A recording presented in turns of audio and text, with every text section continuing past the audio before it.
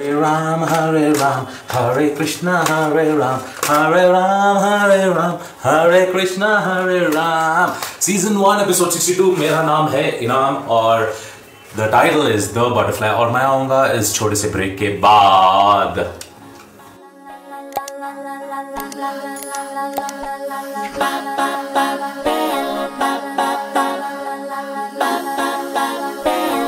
Alright, मैं आ गया हूँ शुरू करेंगे आज की कहानी। आज की कहानी शुरू हो रही है एक बंदा उस बंदा ने आके जंगल में था और उस जंगल में कहीं और पूरे पेड़ पौधे ये सब थे।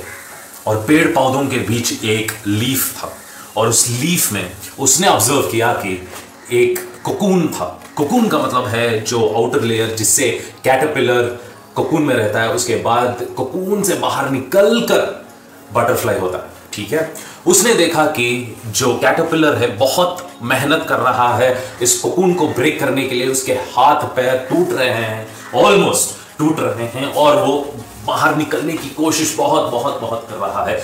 तो बंदे ने क्या किया? वो देखा कि इसको तो मदद करना है, इसका प्रोसीजर जो है प्रोसेस जो है, इसको बहुत आसान करना है, ठीक है?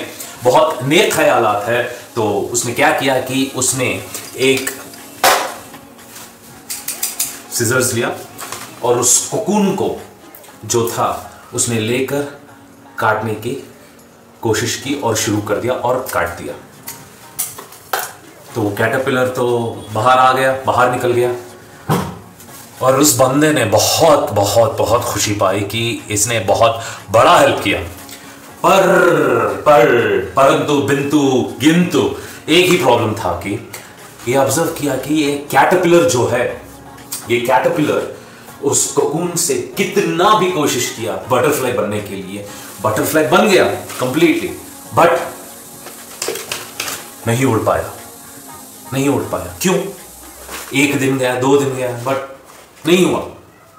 और ये ऑब्ज़र्व किया कि ये क्या हो रहा है, ये क्यों उड़ नहीं रहा है। तभी समझ में आ गया उसको कि जब कैटरपिलर कोकुन में रहता है, उसका बदन जो है उस टॉर्चर में जब कोकुन से बाहर निकलता है, उसके हाथ, पैर, जो भी उसके बॉडी पार्ट्स हैं, बहुत मेहनत करके बाहर निकलता है और उसी मेहनत से उसको बहुत ताकत मिलता है उसके हाथ और पैर उड़ने में।